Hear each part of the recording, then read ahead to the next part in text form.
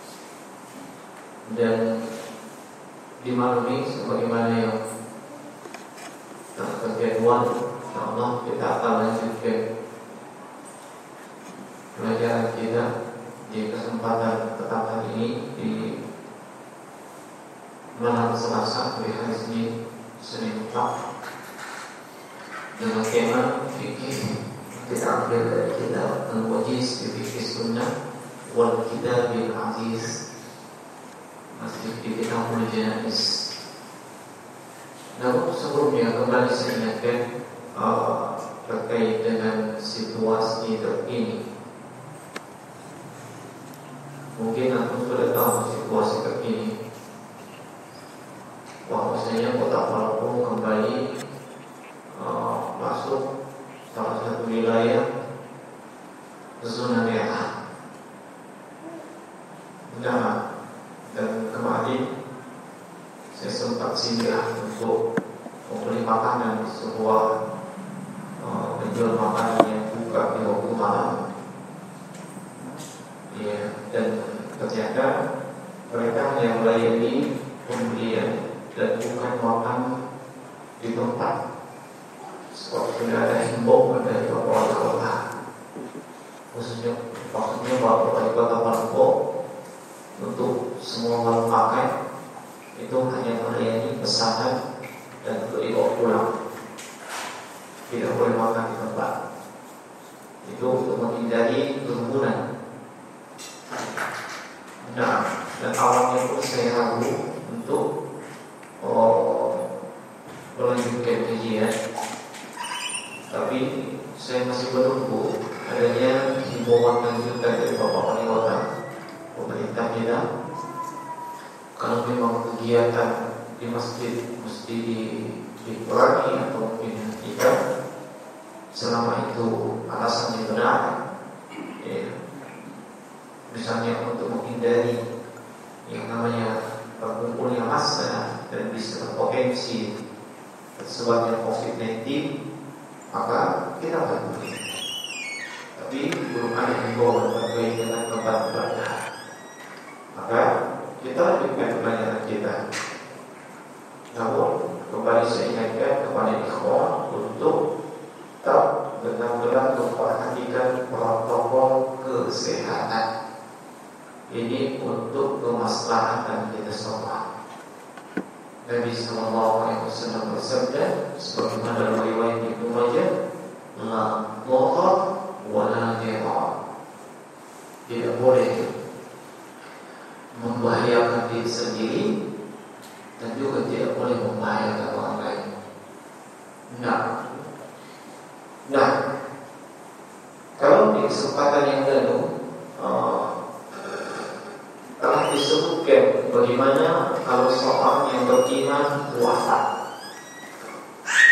maka kelanjutan hadis dari Nabi Sallallahu Alaihi Wasallam ini adalah bagaimana ketika orang kafir itu wafat atau meninggal. Khala beliau mengatakan wa inda abdal kafir إذا كان في في انقطاع من الدنيا وإقبال من الآخرة نزل إليه من السماء ملائكة سعود الوجوه Sesungguhnya seorang hamba yang kafir ketika dia akan meninggal yakni akan meninggalkan dunia dan menuju kepada alam akhirat maka turunlah kepadanya dari langit Bapak malaikat. Ya, sebutkan malaikat itu jamak dari malakut otomatis malaikatnya bukan cuma satu dua. Sebab disebutkan dalam bentuk jamak. Malaikat ini wajahnya hitam semua Wajahnya hitam Nah Ma'hum al-musuhun Malaikat itu membawa kain yang apa ya? Kain kasar. Kain yang kasar. Fayajlisuna minhu muddan basar. Para malaikat ini kemudian duduk di sekitar orang tersebut sejauh mata memandang. Thumma yajibu malakul maut. Setelah itu datanglah malaikat maut. Hatta yajlisa inda maksihi. Sampai kemudian malaikat maut ini duduk di dekat ya, kepala orang yang mau meninggal tersebut. Dan dia adalah orang yang kafir. Nah, fayaqul malaikat wafil mengatakan ayyatuhan nafsul khabithah wahai jiwa yang buruk jiwa yang jelek. Nah orang yang di sekitarnya tak bisa mendengar kalimatnya malaikat. Hanya orang yang mau meninggal ini yang kafir. Nah, ila sakhatin minallahi wa qadari. Keluarlah ya, menuju kepada kemarahan dan kemurkaan Allah Subhanahu wa taala. Qala kemudian beliau bersabda fatafarraqu fi jasadihi wa yantasi'uha kama yantasi'u min sufil mabrur maka yang terjadi jemaah sekalian? Ya sapa tersebut bagikan tercabik-cabik. Sebagaimana tercabik-cabiknya kain wol yang basah. Fayakhudha maka keluarlah nyawanya. Diambil oleh malaikat fa idza akhadaha ketika nyawa tersebut dari oleh lam yad'uha fi yadihi turfat ain. Ya, sama dengan orang mukmin tadi. Ya, begitu diperintah oleh malaikat maut nyawanya pun keluar diambil oleh malaikat maut dan tidak menunggu lama para malaikat yang awalnya datang tadi membawa kain hitam itu pun mengambil dari tangan malaikat malaikat maut nyawa tersebut hatta yaj'aluha fi tilkal musuhi sampai kemudian nyawa tersebut oleh para malaikat tadi itu dimasukkan ke kain yang kasar tersebut. Wa yakhruju minha rihin jifatin wujidat ala wajhin ard. Maka yang terjadi jemaah sekalian, ya, muncullah, terciumlah bau yang sangat busuk. Ya, yang tidak akan kita temukan busuknya ya di walaupun kita menuju kepada penghujung bumi sangat busuk. Nah, Fayas'uduna biha. Para malaikat tadi yang memasukkan nyawa orang tersebut ke dalam kain yang kasar, membawa naik ke atas. Membawanya naik ke atas langit. Fala yamurruna biha ala mala'im minal malaika illa qalu ma hadzal ruhul khabithu. Tidaklah para malaikat itu yang membawa nyawa dengan kain kasar tersebut melewati para malaikat kecuali para malaikat itu akan mengatakan itu nyawa siapa yang sangat jelek buruk sekali? Ya. Nah fayakulun maka malaikat yang membawa nyawa ini mengatakan fulan bin fulan. Ini nyawanya fulan bin fulan.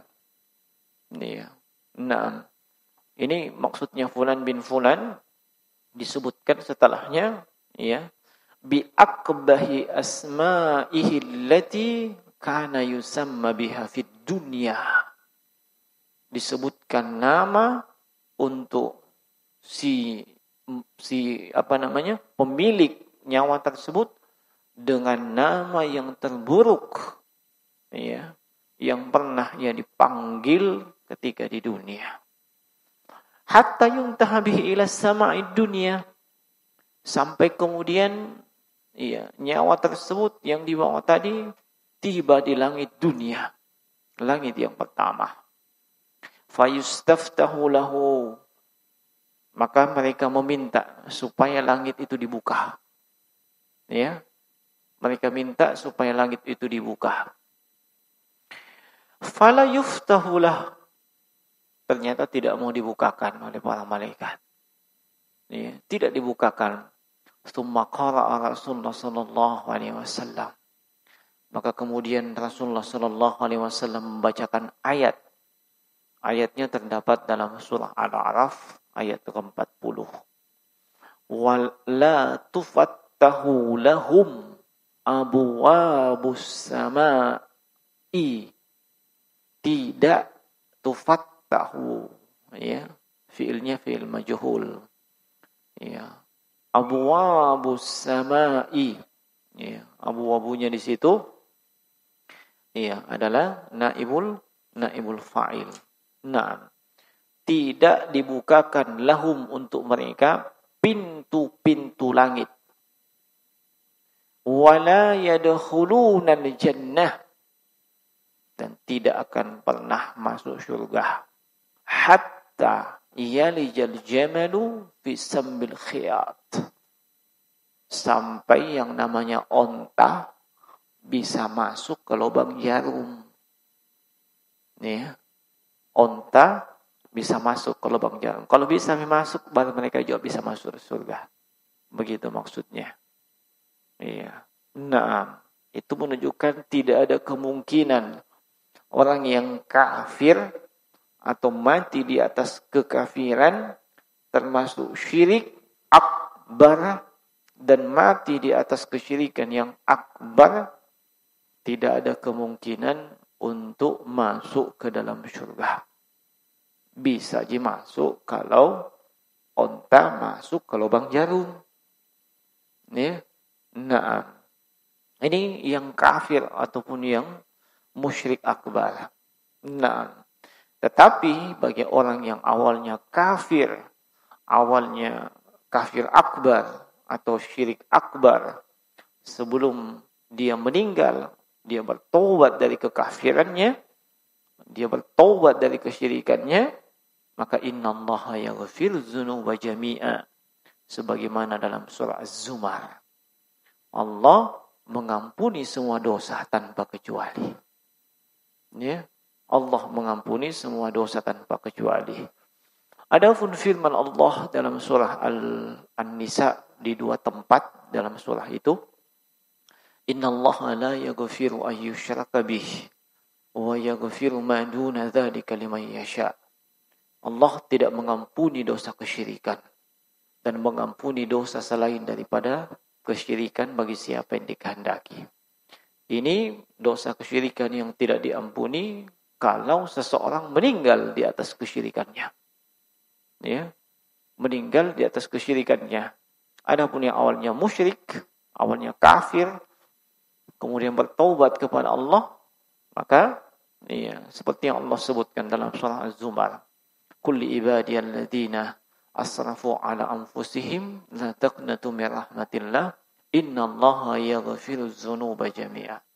Allah itu mengampuni semua dosa tanpa kecuali selama dia mau bertobat. Nah, kemudian fayaqul lalu beliau mengatakan Allah Subhanahu wa taala berfirman, "Uktubu kitabahu fi sijjin fil ardi sufla." Ya. Tulislah amal perbuatan yang si kafir tadi ini ya, itu di sijin. Nah, di mana itu sijin? Al di al-ardu di sufla. Di bagian bumi yang paling sufla, paling bawah. Ya, paling rendah. Kalau amal perbuatannya orang beriman, illiyun. Ya, atau kalau dia majrur, illiyin. Nah, fatutrahu ruhuhu turha maka dilemparkanlah iya rohnya tersebut ke bumi. Iya kalau nyawanya orang beriman itu kan dibawa kembali oleh malaikat.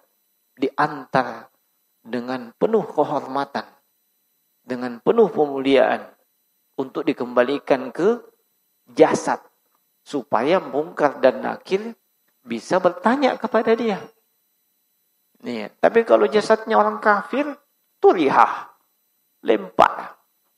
Ya, kalimat turiha ini bukan sekedar romya, walaupun semakna. Romya melempar juga. Wa ma ramaita iz ramaita Allah rama seperti dalam dalam Al-Qur'an. Melempar juga maknanya, tapi ini turiha, dicampakkan bukan cuma sekedar dilempar tapi dicampakkan dengan dengan oh, sikap yang sama sekali tidak ada kepedulian. Ya sama sekali tidak ada kepedulian. Dilempar ke bumi. Ya. Nah. Kemudian khara dibacalah. Allah Subhanahu firman Allah Subhanahu wa taala. Ya. Dalam surah Al-Hajj ayat 31 Waman yushrik billah. Dan siapa saja yang melakukan kesyirikan terhadap Allah Subhanahu wa taala, mempersekutukan Allah dengan sesuatu atau dengan iya, dengan seseorang. Maka faka'an nama kharra minas sama. Itu seolah-olah dilemparkan atau jatuh dari langit. Ya. Fatakhtafuhu tayr lalu disambar oleh at-tayr, burung. Ya, au tahwi atau diombang-ambingkan oleh rih, angin. Naam, fi makanin sahiq. Ya, di tempat yang sahiq, yang jauh. Nah, ini nyawanya orang yang kafir. Nah, maka fatu'adu ruhu fi jasadihi. Dikembalikan nyawanya ke jasadnya. Wa ya'tihi malakani. Setelah jasad kembali, eh, nyawa dikembali ke jasad, ya, naam, maka datanglah dua malaikat. Fayujalisanihi malaikat itu datang dan duduk di dekatnya. Fayakulanilah. Keduanya kemudian berkata atau bertanya, Man Rabbuka? Nah, sudah tahu jawabannya ini ya? Man Rabbuka? Sudah. Iya, artinya soal-soal untuk di dalam kubur sudah bocor. Sudah ada kunci jawabannya. Nah, adapun soal untuk sebentar subuh belum. Ya, belum bocor. Nah, siap-siap saja ya. Nah. Baik. Nah, Fayaqul, apa jawabannya orang kafir yang ketika ditanya, "Man rabbuk?" Iya, kalau seorang hamba yang mukmin walaupun dia tidak lulus jilid satu, iya, tapi bagus keimanannya, maka dia mengatakan Rabbi Allah. Nih, Rabbku adalah Allah. Nah, adapun ini si kafir, iya, walaupun hebat bahasa Arabnya, sebab banyak orang kafir itu hebat bahasa Arabnya. Ya, seperti para misionaris itu. Mereka memang mempelajari khusus bahasa Arab di sekolah teologi untuk mencari kelemahan Islam. Ya, semangat mereka pelajari bahasa Arab untuk apa? Cari kelemahan Islam. Ya, adapun kita ya malam mah belajar bahasa Arab padahal untuk menguatkan Islam. Mereka semangat. Makanya jangan heran kalau ada misionaris di pedalaman jago bahasa Arab. Mas Mukayhi, Masya Allah. Misionaris. Memang tuh beliau belajar untuk melemahkan Islam. Nah, walaupun dia tahu bahasa Arab, tapi kalau dia kafir, maka jawabannya seperti kata Nabi, ha ha ha, la adri. Ya. Ah, siapa Tuhanmu? Ah, ah, enggak tahu saya. Ya. Nah, dia enggak tahu katanya fayakulanilah madinuka. Ditanya lagi, agama lo apa? Iya. Kembali jawab, ha ha ha, la adri. Ah, saya enggak tahu. Naam. Fayakulanilah ma hadzal rajulul ladzi bu'itha fikum. Ya, kamu kenal enggak? Tahu enggak rasul yang diutus ke tengah-tengah kalian? Iya, fayakul dia pun mengatakan ha ha ha la adri. Iya. Fayunadi munadi minas samai an kadaba fa'afrishu lahu minan nar. Ini jawabannya orang kafir. Semuanya la adri, la adri. Ya. Nah, saya enggak tahu, saya enggak tahu. Nah, di sini yang pernah saya singgung jemaah sekalian. Kalau ada orang ditanya tentang satu masalah, baik masalah dunia maupun masalah agama. Iya, dia ditanya lalu dia bilang, "Saya enggak tahu." Apakah boleh? Boleh. Ya, bahkan itu kata Imam Syafi'i ya, menunjukkan nisfun minal ilmu, setengah dari ilmu itu. Ucapan saya tidak tahu. Iya. Nah, tapi tapi itu tidak berlaku secara mutlak. Ya. Jangan coba-coba bilang saya tidak tahu kalau dikubur. Jangan. Allahu a'lam. Jangan. Sambal kiko. Ya. Nah. Jangan. Atau iya, ditanya. Oh, apa? Nabi kalau uh, salat maghrib bacanya apa? Ah, saya enggak tahu. Enggak ada masalah. Enggak tahu dia. Tapi kalau dikubur jangan coba-coba bilang ladri. Termasuk jangan coba-coba bilang nanti kalau ulangan sebentar subuh ladri. Kenapa? Tinggal kelasku. Sahih. Coba mi kalau tidak percaya. Coba mi nanti. Ya. Iya. Nah, apalagi soalnya sedikit cuma lima nomor. Ya, saya tidak mau membani kalian dengan soal yang banyak. Cukup lima nomor. Iya. Nah, jangan coba-coba satu sampai lima. La adri, la adri. Wallahu alam. Tinggal kelas kok. Betul, saya jamin tinggal kelas. Nah, nah, ini, iya, jangan coba-coba katakan itu di alam kubur. Nah, maka yang terjadi jemaah sekalian, ya, rahimani wa rahimakumullah, ya. Sesungguhnya an kadzabah dia ini sudah berdusta dengan ya dengan sebenar-benarnya dusta. Nah, maka itu suara dari langit ya. Nah, fa'afrishu lahu minan. Ya, bentangkan jalannya dia menuju ke neraka. bentangkan jalannya menuju neraka. Waftahu lahu baban ilan nar. Bukakan untuk dia baban. Iya. Berapa pintu nih kalau babun? Berapa pintu itu? Eh? Babun, berapa pintu itu? Satu. Bukakan untuk dia satu pintu. Ke mana? Ke neraka. Fayatihi min ahliha wasamumiha. Iya. Dibukakan, dibentangkan jalan menuju neraka. Bukakan satu pintu neraka. Datang hawa panasnya neraka. Iya. Datang hawa panasnya neraka.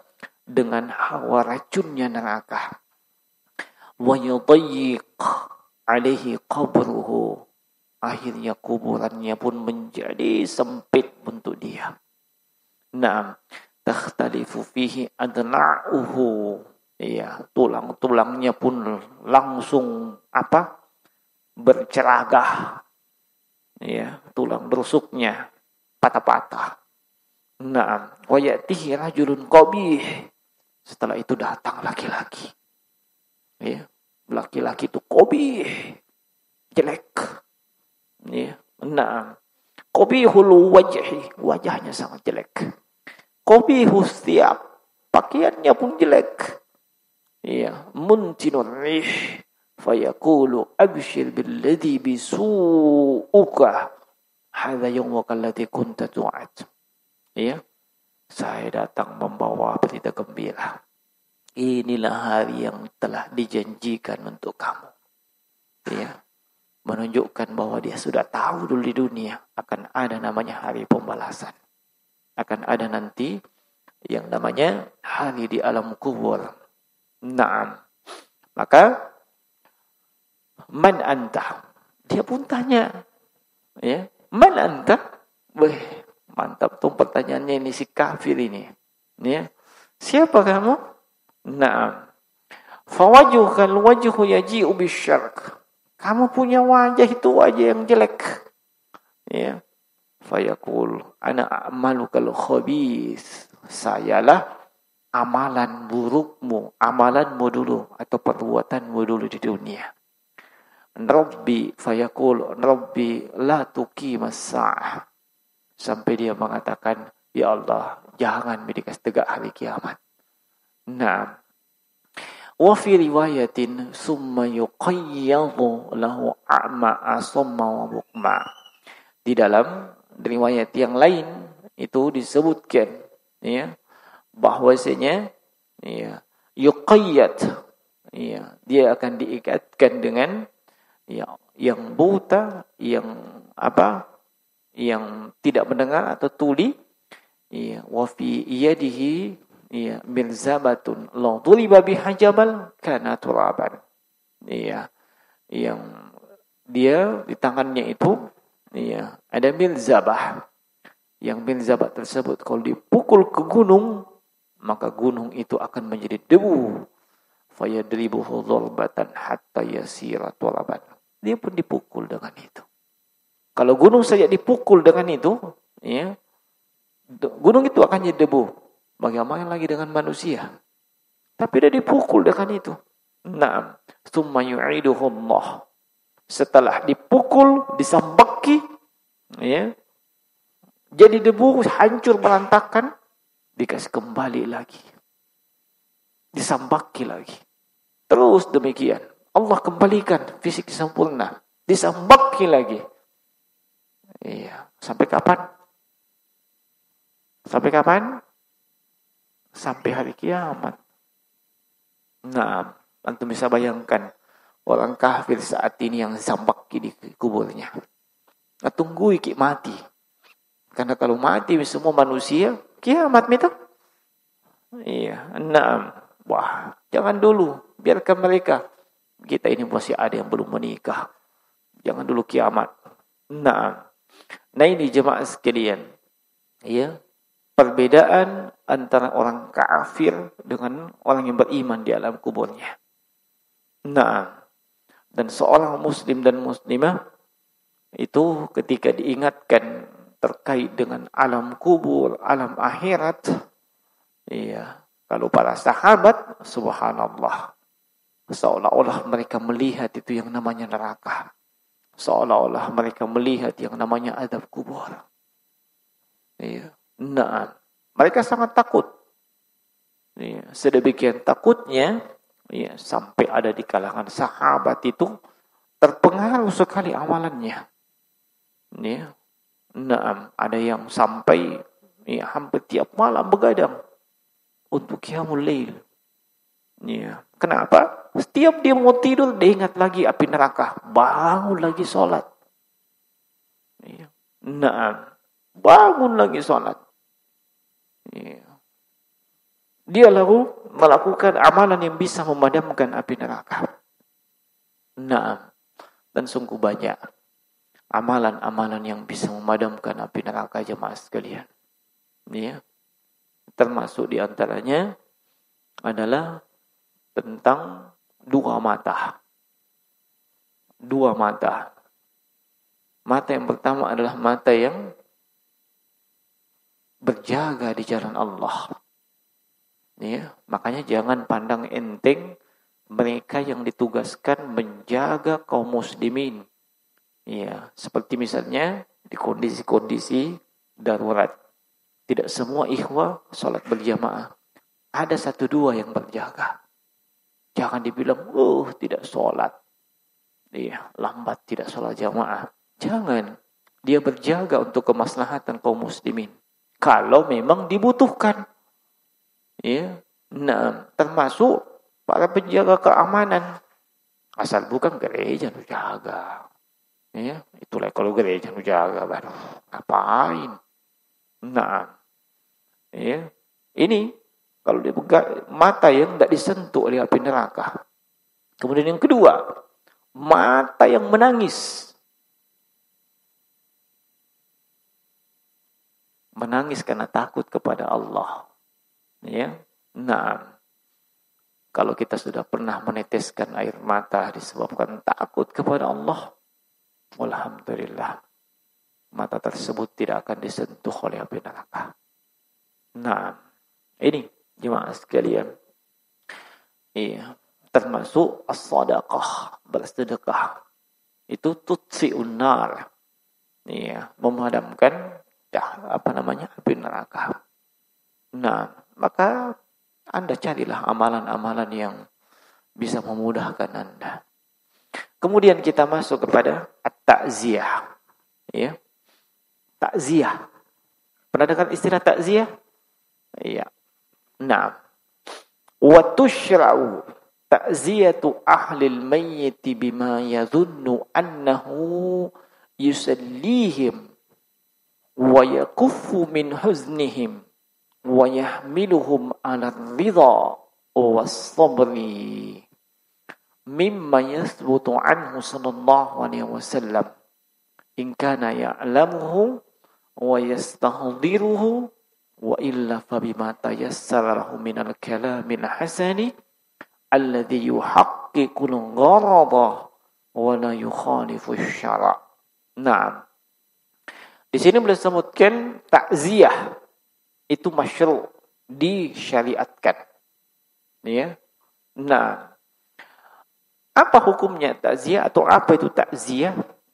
Takziah itu adalah menghibur. Ya menghibur keluarga orang yang ditimpa musibah. Nah orang yang ditimpa musibah.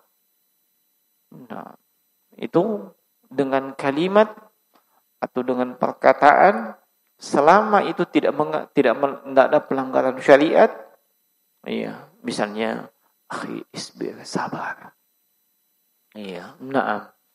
Allah iya, sudah mentakdirkan hal tersebut. Iya, sabar. Ini semuanya takziah. Iya, naam. Iya.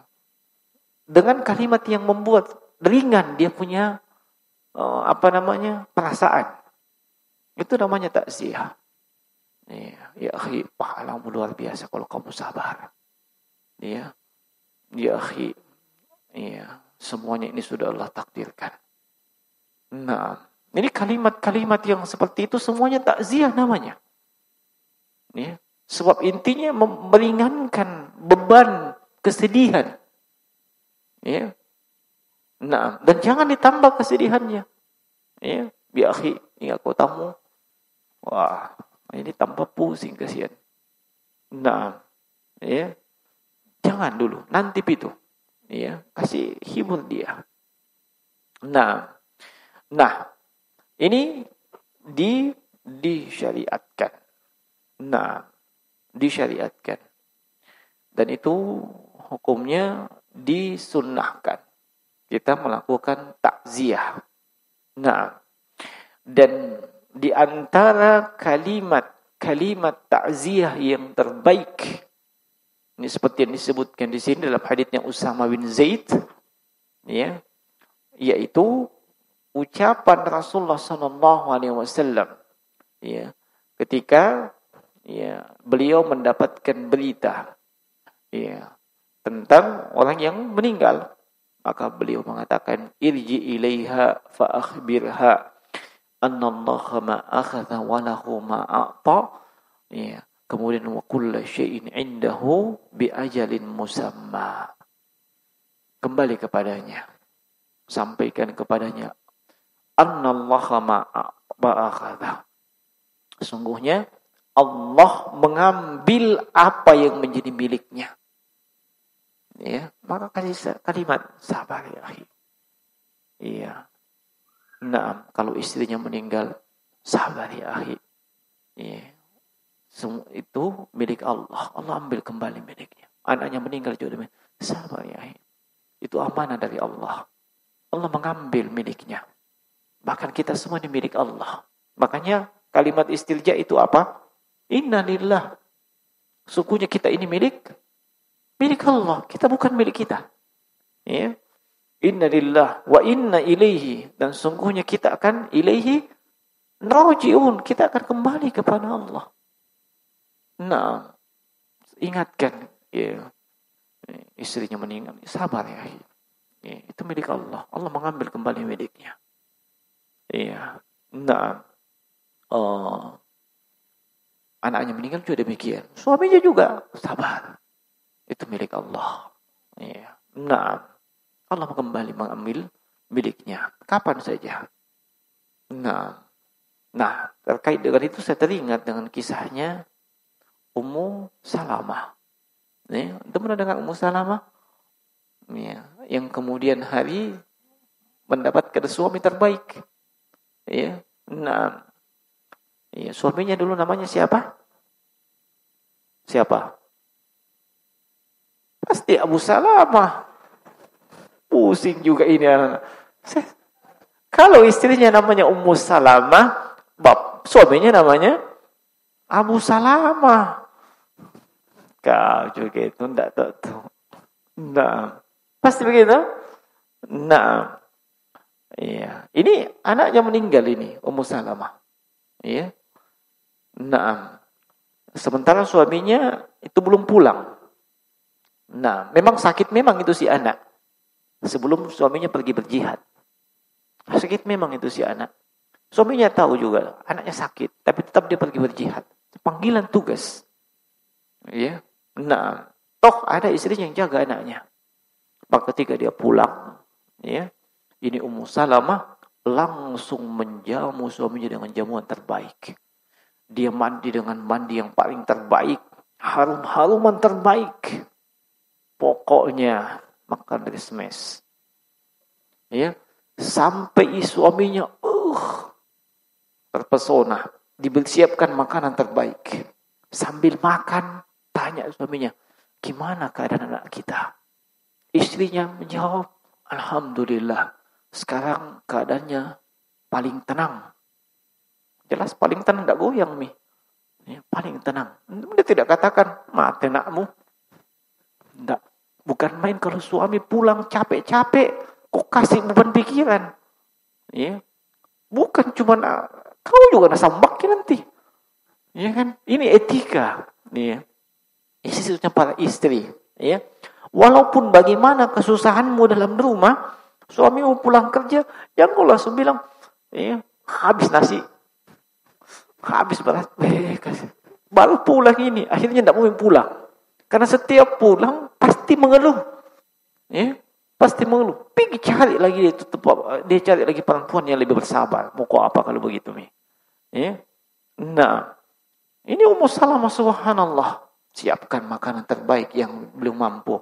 Beliau berdandan dengan dandanan mapak kue. Ya. Nah, sampai suaminya naik hasratnya. Ya. Nah, sudah pinan pernah sampaikan. Iya, bagaimana pendapatmu kalau ada orang titip sesuatu? Iya, dan dia mau ambil titipannya. Oh, apa dong? Abu Salamah? Iya, harus kembalikan titipannya. Amanah. Iya, maka sabar. Allah sudah mengambil amanahnya dari kita. Ah, kaget dia. Astagfirullah. Baru kau kasih tahu. Sudah kata ke sana enak, baru kasih tahu kak.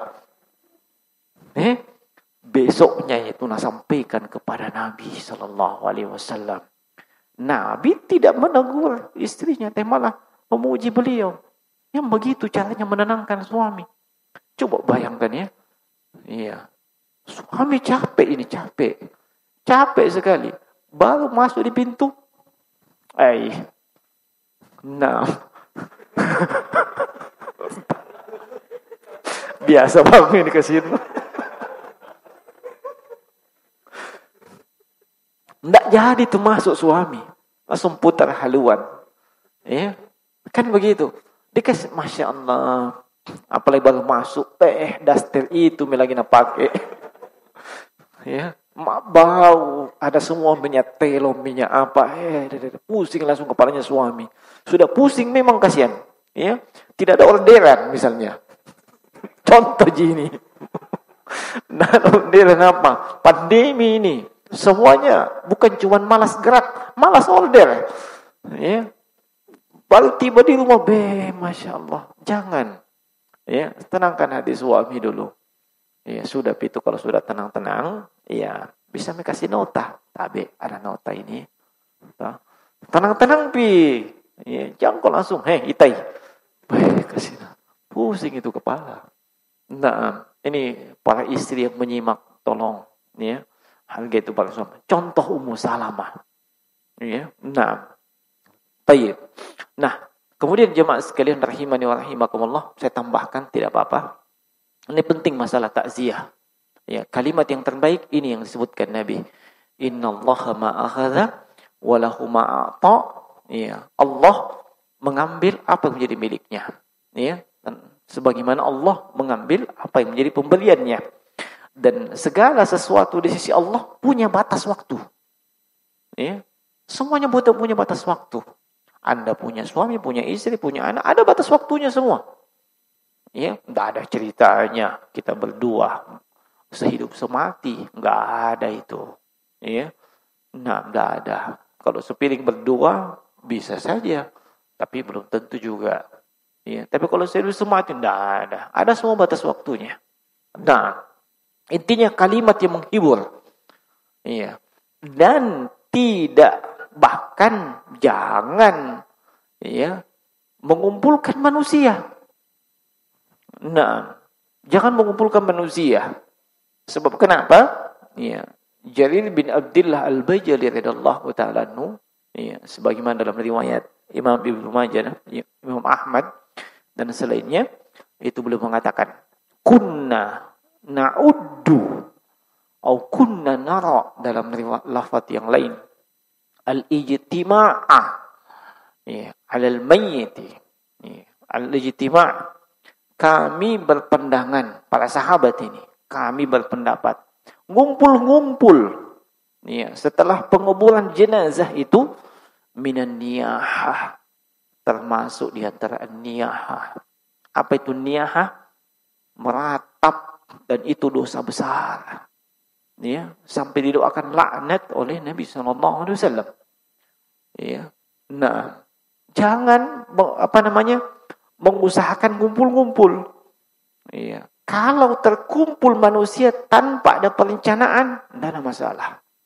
Misalnya dari sana datang taksia, dari sana datang taksia, tanpa ada perencanaan, itu tidak ada masalah. Tapi kalau mesti direncanakan, insya Allah sebentar malam pertama datang kok. Wah, ini tidak boleh menyelisihi amalannya para sahabat. Riwayat yang kita sampaikan tadi sepakat para ulama tentang kesohihannya. Tidak ada silang pendapat. Iya. Kemudian sepakat juga para ulama iya akan keabsahan riwayat tersebut. Sebagaimana mereka juga sepakat meng mengamalkan riwayat tersebut. Makanya imam empat mazhab Semuanya tidak ada yang setuju dengan itu. Ya, seperti yang model-model seperti yang kita lakukan saat ini. Iya. Nah, model takziah seperti yang kita lakukan. Bukan kita, tapi sebahagian saudara kita kaum muslimin. Hari malam pertama, malam kedua, malam ketiga. Kumpulkan manusia, pasang tenda, apa segala macam. Ya. Ini niyaha, empat mazhab. Iya. Bahkan di kitab Al-Um yang tulis oleh Imam Syafi'i dengan tegas, beliau benci dengan hal tersebut. Ya. Nah, belum lagi ya, masalah uh, apa itu? makan-makan.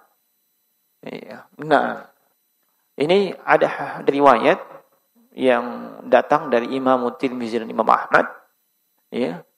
Uh, ketika datang berita tentang kematian apa? kematian Ja'far bin Abi Thalib. Ya, maka Nabi katakan apa? Ya, isna'u ya, li ali Ja'far ta'aman faqad atahum ma yushkiluhum. Buatkan makanan keluarganya Ja'far. Sebab telah datang kepada mereka sesuatu yang buat mereka sibuk. Maksudnya sedih. Ya, maka tetangga buatkan makanan segala macam. Nah, ini dengan syarat kalau memang keluarga tersebut memang dilanda kesedihan dan uh, mereka semakin terbebani kalau mesti buat makanan segala macam. Ya, sebab ilahnya apa? Faqad atahum ma yushgiluhum.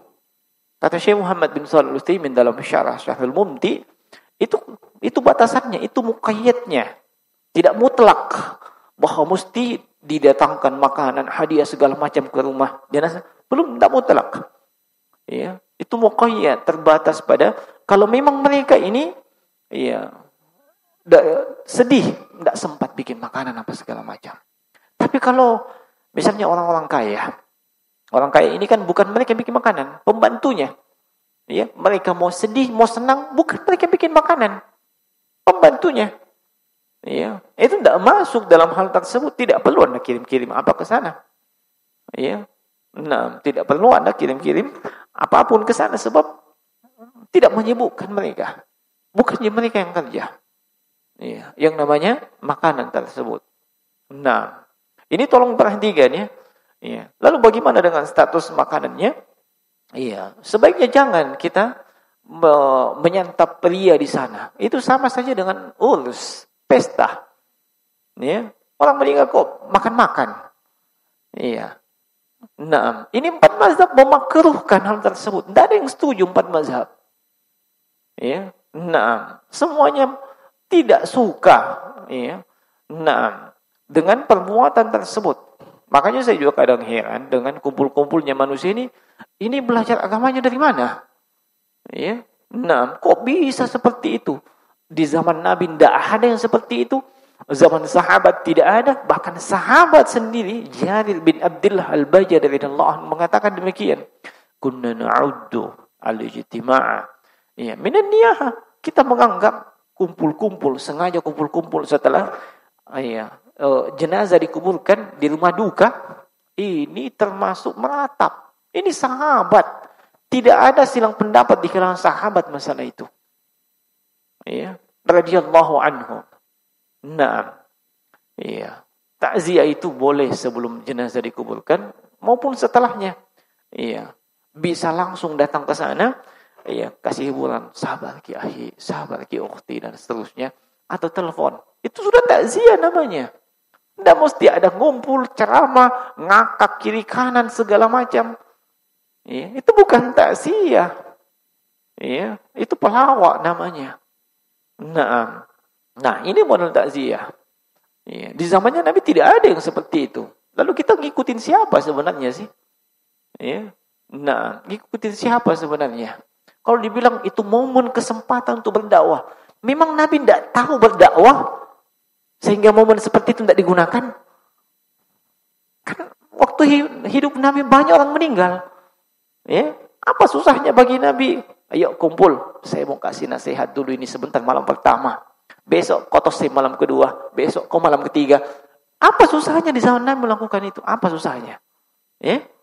Kalau dibilang momen kesempatan memberikan ceramah. Nah, yang mau dikasih pencerahan ini siapa? Pihak yang mendapat musibah. Ya. Tapi yang terjadi, pihak yang mendapat musibah sibuk bawa makanan, bawa minuman, minum ki, makan ki. Pusing kasihan, sibuk. Ya. Harus jadi kasih pencerahan dikasih sibuk. Ya. Yang datang sibuk makan. Ya. Kemudian cari mana lucu-lucunya. Kalau tidak lucu-lucunya, dia mau kepanggil itu lagi. Serius sekali. Ya, cari kok yang anu, yang eh, itu. Jadi memang momen apa seperti itu? Iya. Iya. Nah, ini menghibur.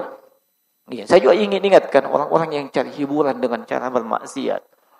Seperti putar-putar lagu, musik, dangdutan apa segala macam. Iya, ditanya, "Untuk apa itu putar-putar lagu dan hiburan?" Oke, Besok-besok ada meninggal di rumah, putar dangdutan. Ada mau? Itu menunjukkan bahwa itu bukan hiburan.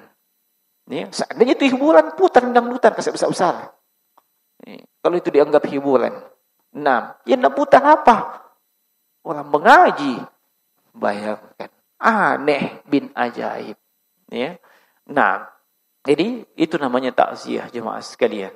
Kemudian, berapa lama orang boleh berkabung? Ya. Kita kan boleh ber, apakah boleh berkabung? Boleh. Iya. Berkabung atau masa bersedih, iya. Itu maksimal tiga hari.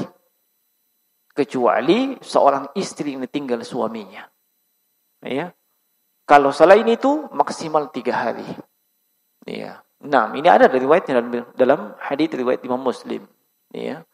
Nah, kata Nabi sallallahu alaihi wasallam, la yahillu li imratin tu'minu billahi wal yawmil akhir ya fauka alal mayyiti na'am fauka fauka salasin illa min zawjiha ya tidak halal ya seorang wanita yang beriman kepada Allah dan hari kemudian dia berkabung lebih dari tiga hari maksimal tiga hari artinya kalau mau tutup toko ya tidak terima order tidak terima apa segala macam maksimal tiga hari kalau untuk istri Iya, empat bulan sepuluh hari.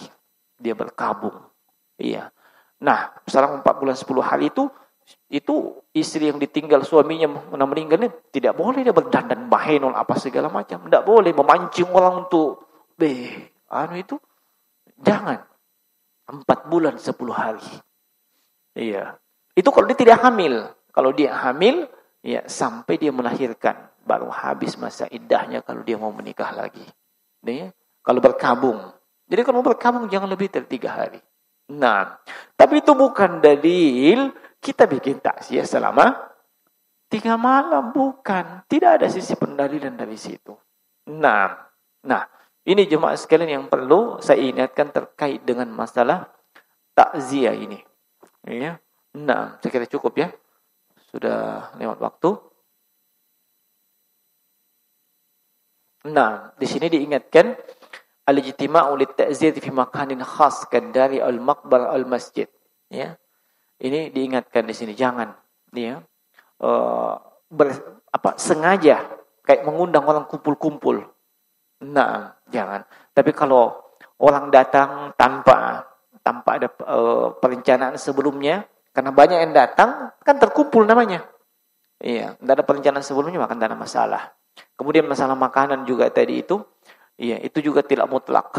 Misalnya ada keluarga yang datang dari jauh, tinggal dalam rumah, kan tidak mungkin tidak disuguhi makanan. Ya. Bahkan wajib sebab dia tamu.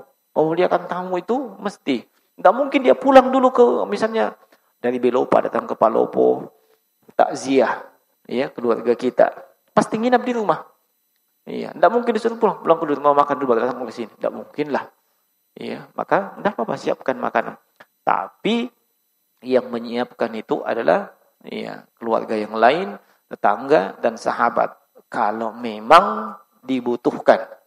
Ya, kalau memang itu dibutuhkan. Tapi kalau itu tidak begitu eh, apa musibah yang menimpanya itu tidak ya tidak begitu menyibukkan dia, maka seperti yang diungkapkan Syekh Utsaimin itu itu tidak diperlukan. Nah, termasuk ittikhadu ahli al-mayyit ya at-ta'ama li dhi'afatil waridina lil lil azai. Iya, keluarga yang ditimpa musibah ini itu menjamu orang yang datang bertakziah. Ini semuanya tak di di apa namanya? di ya, dilarang keras. Kenapa? Ini berdasarkan hadisnya Jarir bin Abdullah al-Bajali, "Kunna na'uddu al-ijtima' ila ahli mayyit wa dhiyafa wa sani'at at-ta'ami ba'da dafnihi min an-niyahah." Termasuk daripada an-niyahah. Nah, saya kira cukup jemaah sekalian. Ini yang penting untuk kita ingatkan. Nah, sehingga tidak perlu lagi ya kalau ada yang mau undang-undang saya pergi isi acara takziah ya, sudah tahu bagaimana modelnya saya ya sebab itu tidak seperti itu model takziah yang saya pahami ya sebagaimana yang datang dari sunnah maka saya mungkin tidak datang gitu ya nah ya, saya mungkin tidak datang menghadiri acara-acara seperti itu tapi kalau takziah yang sebenarnya saya akan datang. Ya. Jangan dikira di grup tidak pernah saya bilang innalillah. Saya bisa japri ke orangnya. Telepon langsung ada apa dan bagaimana. Nah, itu yang biasa lakukan. Nah, kira cukup. Subhanallah bihamdik. Assalamualaikum warahmatullahi wabarakatuh.